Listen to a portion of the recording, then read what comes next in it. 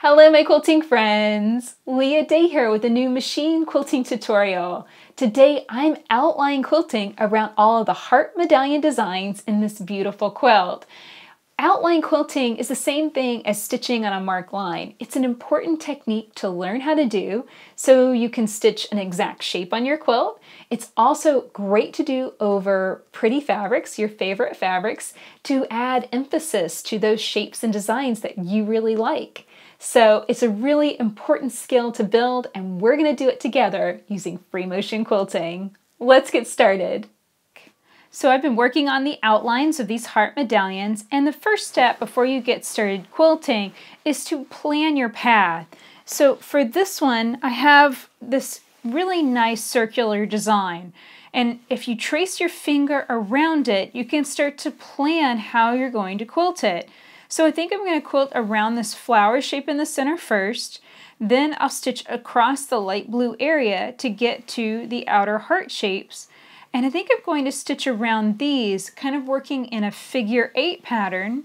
So I'll go around one time knocking out half of the shapes, and then as I come back to the beginning, then I can knock out the second half going around. I'm not going to stitch around the inner heart shapes for two reasons. Number one, it really doesn't need it. Uh, the batting that I am using in this quilt, this is Quilter's Dream Puff, and it has a really nice fluffy loft. It also has a really high rating, so I don't actually need to do very much quilting beyond the stitching in the ditch that I've already done and outline quilting these motifs. Of course, if you wanted to add more stitching, you could kind of sneak in here and stitch around every single heart shape. You could stitch you know, through that top point or through the bottom point. Now that's totally up to you. You can also break thread to stitch inside each one as well. You know, personally looking at that, you know, you'd have lots of thread breaks. It would be pretty time consuming to do that. But if you really want that effect and that look, that's definitely open to you. For this one in particular, this would have required a lot of thread breaks to stitch around each heart shape. Uh, you know, all of these different echoes and stuff. I used the center lines. I just marked a line right across the center and travel stitched along it in order to reach all of those spaces and to reduce all of those thread breaks. So definitely know that that's open to you. Okay, so now I'm going to begin in the middle of this block and I'm going to start on that flower shape. Now to pull up my thread, I just drop my needle down into the machine and bring it all the way back up, then give that top thread a tug, and that brings a little loop up to the top. That is your bobbin thread. Tug on it and then tuck both thread tails underneath your foot. Okay, so outline quilting can be a little tricky, and it's definitely something that you want to do slowly, slow and careful.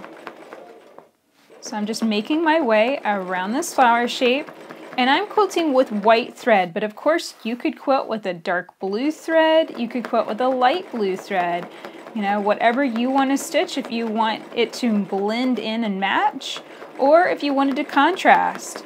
I like the contrast, I think it's pretty, but of course it's going to require extra careful stitching so that way I don't veer off. Now, if I did veer off, I'd want to veer off in the direction of the lighter fabric because my white thread kind of blends in with it. I'm going to try not to veer onto the actual motif shape because that will definitely stand out. You'll definitely be able to see it.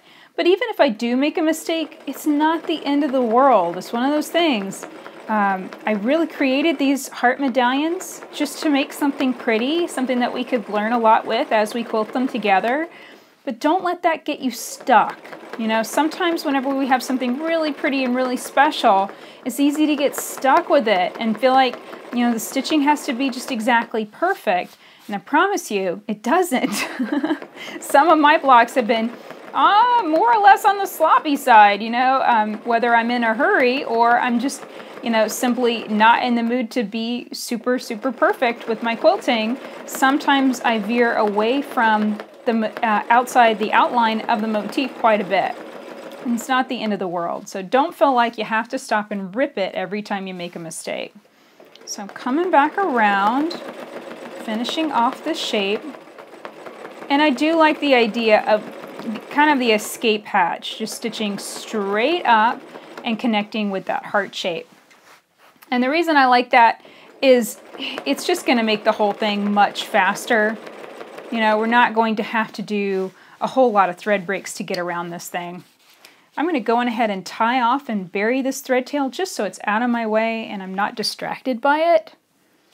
So to do this, I just tie those thread tails in a knot and then I grab a cheater needle. This is a special needle that has a little groove in the eye so I can take the thread tails and very carefully pop them into the eye of the needle and pass them through the middle layer of the quilt.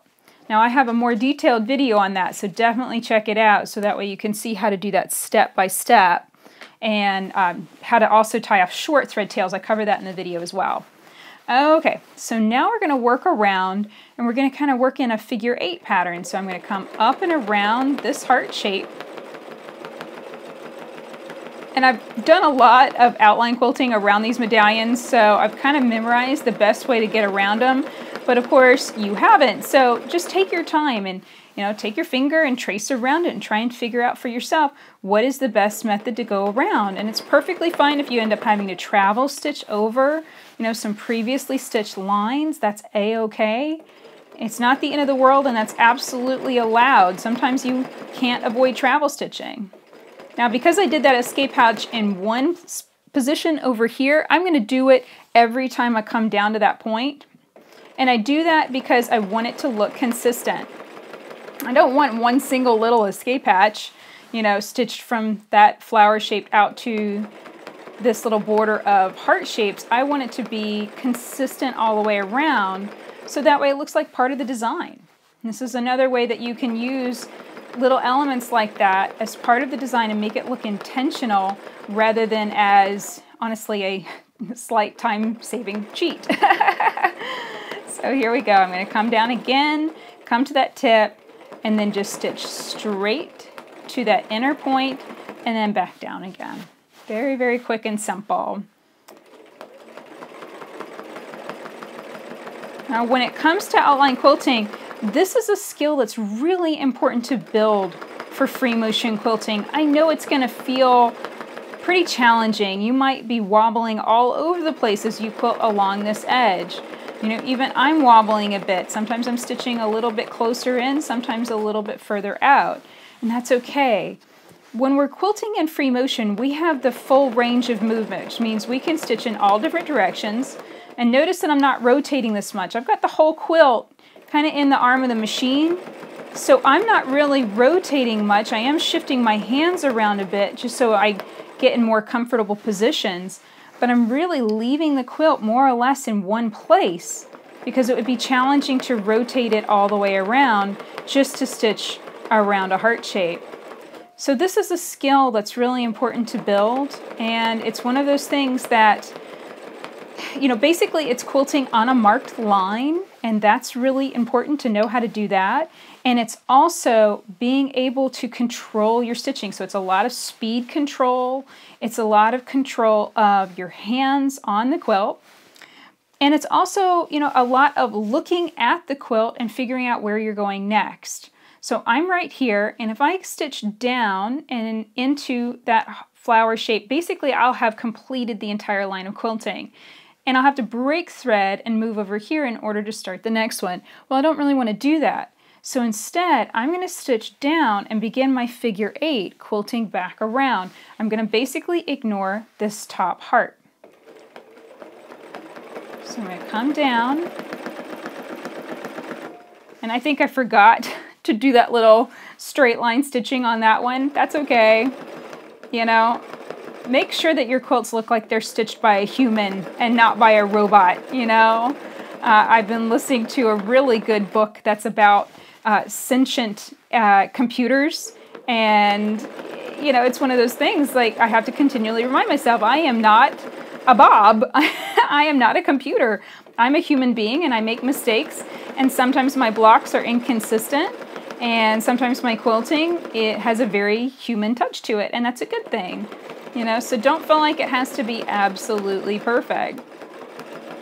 Getting back to the skill of this, you might be wondering, okay, well, when would we use this type of thing in another style of quilt when we don't have, you know, something pretty to stitch around like this?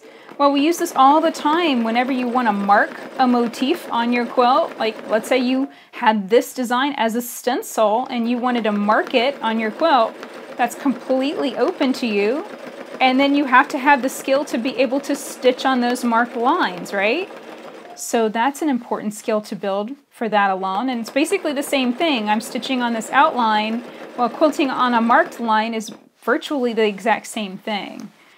Uh, another way that we could use this skill is quilting around the outline of an applique. So we've been doing that a lot this year with the Machine Quilting Block Party, quilting around our Dresden plates. You know, that's an important skill to be able to build so that we stitch right along the edge rather than, you know, hopping onto the applique fabric. So coming down, stitching that little tip, and back. It's okay if that wobbles a bit, no big deal. So there's a lot of ways that you're going to use outline quilting, and it's one of those techniques that I think is absolutely essential. It's the same as quilting on a marked line. It's just one of those uh, tools in your toolbox that you've got to build, and then you'll be able to pull it out and use it anytime. And now I'm stitching around that last top heart shape, coming down and I'll finish off that last straight line. So there we go. That is how I outline quilted that entire heart medallion. Every single one of these is going to be a little different. You know, it's going to be a different plan, a different path. For this one, for example, I would start in the center and stitch around the outline of the heart, come back into the center, stitch around the outline of the next heart. And you could work all the way around that way. And then probably the next bet would be to break thread, move to a corner, and stitch around that inside curvy border. And then you could use an escape hatch to escape out, and then you could do the outline and stitch along it. You know, making sure that you have that little bit of straight line stitching in each of the corners. So that's an idea for quilting this heart medallion as well. And here's what it looks like after I finished stitching in the ditch and outline quilting my heart medallion quilt. So that's it for this video. I hope you learned a lot about outline quilting and free motion quilting, both really terrific skills to build. If you have any questions about this tutorial, please ask in the comments below. I really want to help you learn more about machine quilting. Of course, if you liked the video, please share it with your friends and subscribe to our channel on YouTube so you don't miss the next video coming out soon. We have new tutorials coming on how to quilt the beautiful border, so you don't want to miss out on those videos. Until next time, let's go quilt.